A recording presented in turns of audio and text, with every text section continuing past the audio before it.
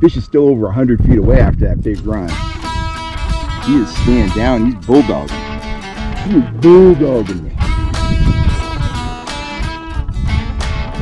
Fine. I am content to let him wear himself out down there.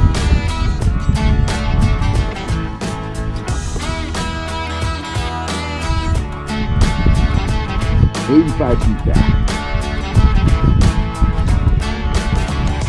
And these fish fight so hard.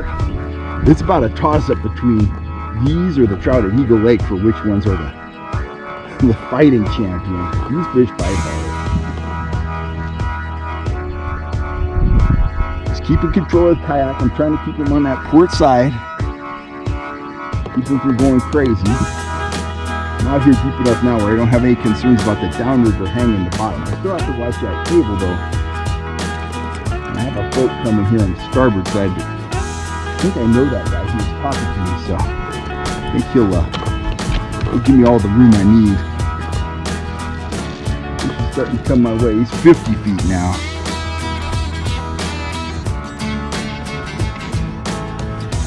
He's going to go crazy when he sees a kayak. He's kind of been resting. He's just kind of swimming along with us at this point. And I'm just not doing anything to dissuade him from doing that. I'm just keeping the reel in motion. Sometimes the harder you fight them, the harder they fight you. Okay, he's getting a little more active now. Just let him do his thing. I'm moving at like 0.8. I'm not moving very fast at all. Just fast enough to keep forward momentum. A lot of head shaking now. Oh! Notice, as long as the line stays tight, when he starts head shaking, I stop reeling. I, I, I'm, I'm not trying to provoke him. He's got a lot of fight left in him. And when he's head shaking, I don't want to provoke him by cranking hard on him. Got a lot of power. A lot of power. Oh, I see him down there. He's got a few copepods on him.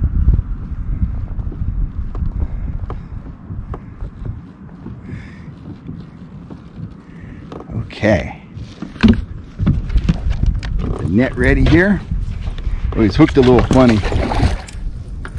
Kind of wrapped himself. Oh, what a beautiful rainbow.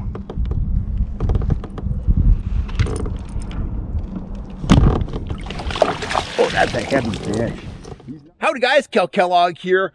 Um, I'm going to ramble a bit in this video and I may have to stop and start the camera some because I'm out here in the woods and uh, the logging guys are out here. They're out here hot and heavy right now. They know it's going to get muddy so they're doing all they can to get as much timber out of the woods as they can before the roads get all mudded out and they have to stop essentially until spring. So let's get going here. Let's get going down the road. I want to talk to you about a concept I kind of came up with called called magical thinking for trout anglers. And uh, you know, I get to meet a lot of trout anglers. I'm out on the water a lot. I have a lot of clients. I meet a lot of people that are just out fishing, you know, at the same lakes that I'm fishing at. And one of the things that seems to afflict a lot of trout anglers is magical thinking. And I'll kind of define that in a moment. But uh, if it afflicts you, I can tell you it is holding you back. It is not allowing you to catch as many trout as you should be, and it's not allowing you to catch as many big trout as you should be. And I'm all about helping people catch the maximum amount of trout, the maximum number of trout, and the maximum number of big trout. So I am trying to break the curse of magical thinking as it applies to trout anglers. Now, let me talk a little bit about my lures and my program. I'm a tackle guy. I sell tackle. There are too many tackle guys that would have you believe that their lures work no matter what, all day, every day, no matter where. They just always work. That is a blatant, and I would tell them to their face, that is a blatant, bold faced lie. It is a lie. There is no bait, even power bait, that works all day, every day under any conditions, okay? Here's how my lures were developed. It's a chicken and egg scenario, okay? the lures were not developed first. The first thing I developed was a method. My method of catching trout is what makes it happen. Then I went on the backside and I developed my own set of lures that plug in to my method. Now, if you look around here on the channel, do some searching, you can get an in-depth instruction. You can find in-depth instruction as to the method, but I'm going to put it in a thumbnail right now. Here's my method in a thumbnail. You hit a lake, any lake. I don't care if you're in California, in New York, or in Australia. You hit the lake, you need to take into consideration the environment. You need to get as much information about the lake as possible. When you physically get to the lake, you need to check out things like the surface temperature, the water clarity. What has the weather trend been? That's one part of it. But my method revolves around this concept. You start out fast and large. Okay. Fast for me, 2.7 to three and a half miles an hour. You start out fast with large, aggressive lures. Your Rapalas, speedy shiners, speed spoons, trolling flies. Big and aggressively fast and you work the lake and you watch your sonar and you take note of what's going on. You're looking for areas that hold fish and you're also looking to catch a fish or two or three or five or whatever that number is or maybe just even get a bite. But what you're really looking for is to figure out which areas on the lake are holding fish, okay? Usually, even if you catch fish early going fast, the, the bite is going to wane and you're going to have to slow down and downsize. As we slow down, we downsize. As we slow down, the lures get softer and more seductive. Fast for me, two seven to three and a half. Medium speed, 2.2 to 2.7, 2.8. Okay. That's where I start to integrate more trolling flies into the spread. Maybe at the lower end of that speed range, I start to get the soft plastics involved. Slow for me is 1.5 to 2.2. That speed range. 1.8 is usually my target speed, at least in my boat, because that's about as slow as I can go. When I'm down at 1.8, I am looking for lures that are soft, seductive, have a lot of action and stay in the strike zone for an extended period of time because generally when I get down in the low end of the speed range, the trout have told me that they are not on a red hot bite. They are somewhat lethargic. They are neutral fish. They are not willing to chase. They are not willing to jump on the speedy shiner going four miles an hour. They need to be coaxed into hitting. Right now in Northern California, I don't care where you go in the foothills, the bite has been more difficult than usual. The conditions are not what we usually see in the fall. Our lakes are much higher than they usually are at this time of the year, and that has affected the bite. And there are things going on that I don't understand. For some reason, a lot of the trout at Comanche, Collins, Folsom, and different places like that are gravitating to the shoreline earlier than I would expect them to. That's why at a lot of places, we are seeing bank anglers doing better for the trollers. Do you want to take your big sled up within eight feet of the bank to troll? I certainly don't. I'm scared to go up there. So's everybody else. Now, for a bank angler targeting a trout that's six feet off the shoreline, simple deal. That's why bank anglers are scoring better than trollers while using power bait and spoons. There are guys at Collins Lake right now sight fishing for big lightning fish, lightning trout rather, off the bank with spoons. They're seeing the fish, they're presenting the lure, and they're catching those fish virtually at their feet. That's not a place that I control. I have been working the surface of the lake offshore where there are unfortunately less trout and I'm having, I'm having to work for every single strike. I'm getting fish every day and I'm getting some big fish, but I'm having to work for them a lot harder than the guys that are able to fish adjacent to the bank. Now, here's where the magical thinking comes into play. Okay. You get out on the lake and maybe you catch a few fish. Maybe you don't. Maybe you're catching fish on needlefish and the bite slows down and you put on some worms and you still catch a few fish and then the bite goes dead. Guys assume, especially when you're trolling, that there is some magical, mythical, unicorn type lure that you are going to put on and you are going to make those fish bite. The fact of the game is there are periods throughout the day, sometimes short periods, sometimes long periods, sometimes a period goes on all day when the fish simply will not strike. They won't strike a cripple lure, a trout tricks worm, a rapala, or anything else you pull. There is no magical lure. Okay. That is one rut guys fall into. The fish stop biting and it's, man, let's, let's, let's play the, the magical lure game and change lures every five minutes and fish everything in our tackle box. That seldom pays off. Rarely does it pay off, especially when the fish have already shown you that they are lethargic. They are on the edge. They don't really want to bite. You're getting short strikes. You're losing fish. Fish are falling off in the net. These are all things that are telling you they are not committing to your bait. They're not in the mood to feed. You're getting some strikes, but they're just not really wanting to go. Okay. That's what I call taking the fish's temperature. You've got to listen to the trout. They will tell you what they want or don't want just based on how they respond to your lures and your presentations. Okay. Speed range is the heart and soul of my method.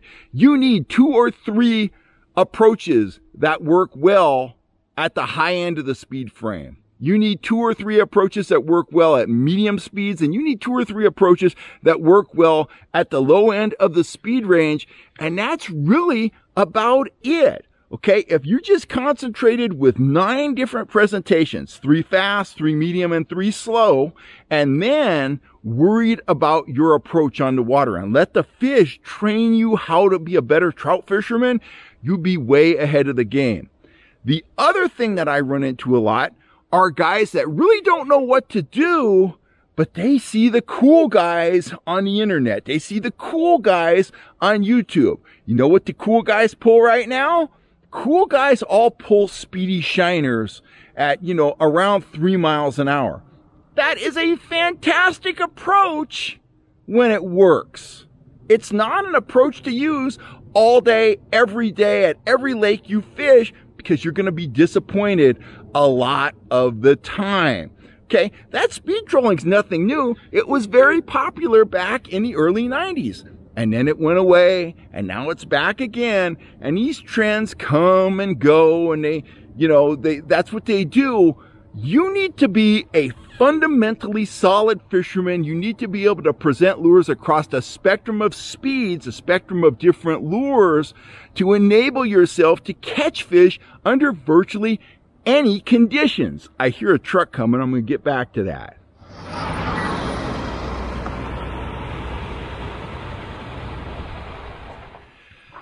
Well, that was probably the sixth logging truck we've seen come out of here in about the last half hour. So those guys are working hard. They must have a big raft to cut timber up here somewhere and they're just steadily hauling it out.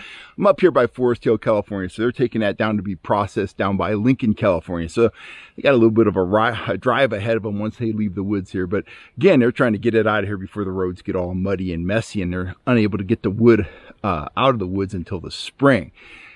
Back to the trout. So what you're looking for is, you know, at the center of my method is speed.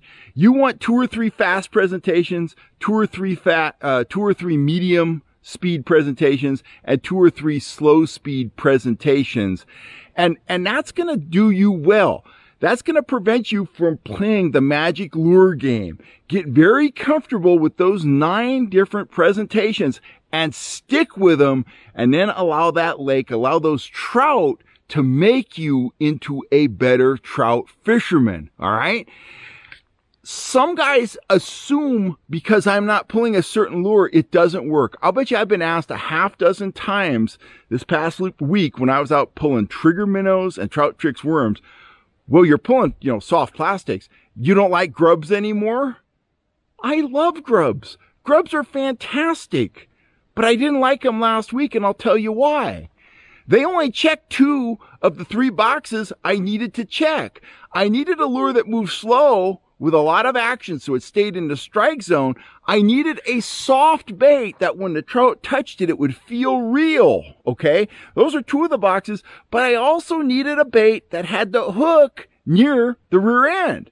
There's a good friend of ours up at the lake and he's been playing with grubs. His name's Joey and he's been getting a lot of short strikes. He's getting the trout to hit the grub, but when you think about a grub, a three inch grub has a tail that's approximately an inch and a half long. That means when a trout comes up to get the bait, to get hooked, he's got to get an inch and a half of that bait in his mouth before he ever gets to the hook. And when the trout are tentative and they're nipping, that's not going to happen. What you're going to end up with is a bunch of short strikes. Fish that came in, grabbed the tail, didn't get hooked, peeled off and went away. That's what's going to happen. My worms and my minnows allow me to get that hook point right back near the tail of the bait. When I'm trolling flies a lot of, a lot of the time right now, I'm running a stinger hook on them for the same reason. The trout are coming in nipping. Little details like that, they can get you three or four fish on days when other guys are getting skunked. That doesn't sound like a lot, but when you got four fish in your box and everybody else on the lake is getting skunked, it's a big deal, believe me. So little details like that, it, the temperament of the fish, again, are dictating which baits I'm pulling and how I'm rigging those baits. I, again, I'm not knocking anyone, but I do want to talk to you about one more thing that holds anglers back, and it's a combination of doing what the cool kids do and magical thinking. And that's overusing your downriggers. The downriggers are not the answer to every problem. Here comes another logging truck. I'll finish up this thought and we'll be out of here. I'm back. So when it comes to trout trolling, downriggers are not the answer to every problem, okay? If the trout are in the top 20 feet of the water column, there's really no reason to deploy your downriggers, all right? You can do just as well top lining using lead core and pulling weights. In fact, you can do better using lead core if the fish are in the top 20 than you'll do uh, using your downriggers. That's just the way it is. I got a quick story before I get out of here. So last spring, I'd had an exceptional week. I was catching a lot of fish on trolling flies, fish up to and beyond 10 pounds. I mean, I was smoking them. I think it's the week that I caught, uh, or one of my clients caught, I put him on it. He got an 11 and a quarter pound trout on a number eight junior trolling fly pulled about one foot deep at one o'clock in the afternoon. Huge fish right up on the surface. Remember, the most active trout are always going to be on top the biomass. When the water is cold, the most active trout are right under the surface. If you're at Shasta in the summertime and the main biomass is 90 feet deep, the most active trout are going to be at 75 and 80 feet deep. That's just the way it is. It's the same way with ocean salmon. The most active fish are on top the biomass. Those are the ones that are most likely to feed. Anyway, I'm out at the lake. A guy gets a slip next to mine. I've been smoking all these fish and he asked me what I've been doing. But he didn't really want to know what I was doing. He wanted me to mandate what he intended to do. He said, well, what are you pulling off your downriggers? Nothing, zero, nothing. I'm pulling nothing off my downriggers. I hadn't used them in months and had no intention of using them anytime soon. I was catching fish, you know, up to about 11 pounds right under the surface. Why would I deploy my downriggers? Of course, I didn't act like that to the guy. I said, no, there's really no reason to use your downriggers. The trout are all up top, blah, blah, blah. I'm using trolling flies. Well, he says, oh, I'm going to pull spoons. I'm going to pull big spoons that wasn't the pattern then. You're not going to catch anything on them. But okay, whatever. This is America. Do whatever you want. And then he, he said the quote that stuck with me. Well, yeah, you can catch fish up top, I guess. But if I catch a fish down deep off my downrigger, it's going to be something worth catching. I, I pondered that. What the hell did he think he was going to catch? A marlin? A tuna? A great white shark? I was catching fish up to 10, 11 pounds right under the surface and I fish every day. But he was convinced if he dropped his downrigger down to 40 feet, he was going to be doing what the cool kids do and he was going to catch something, and I quote, worth catching. I can't argue with that. I, I can't, I can't help you with that kind of thinking. So just kind of remember these points I've tossed out there. This comes on top of thousands and thousands and thousands of hours of field experience. It comes on top of of fishing probably 200 days a year for the last four years when I've been a full-time professional trout guide, guys. I can tell you my methodology absolutely works. It'll work even better if you plug my lures into the equation. All this stuff is up on the channel. You can get tutorials on anything I've just talked about. Don't play follow the leader. Don't get stuck in a rut. Don't play the magical lure game and don't over rely on your downriggers. They're a great tool when you need them, but the fact is late fall, winter, early spring, you don't need them. You will catch more fish using my hybrid lead core system than you will catch on your downrigger. I get comments to that effect all the time. It has become a statement of fact. Again, I want to see you guys catch as many trout as possible and as many big trout as possible. And that's why I'm here on YouTube doing these videos. I will catch you next time. If you'd like to get out on my boat, um, my winter season's coming to a conclusion here pretty fast at Collins. I'm going to be up there through mid-December. Um, and uh, also, by all means, check out my tackle um, at fhsfishing.com. That's where you can check out my guiding calendar. And you can also pick up the most effective delivery system that you can have on your boat during the cold water months. That is one of my iconic yellow hybrid lead core rods. They outfish downriggers when the fish are near the surface, usually three or four to one. So anyway, believe it or not, I'm out of here for now. I'm Kel Kellogg. You have a wonderful day. Take this advice to heart. I know I've been rambling. It is going to change the level of success you enjoy when you're out trout fishing. Catch you later.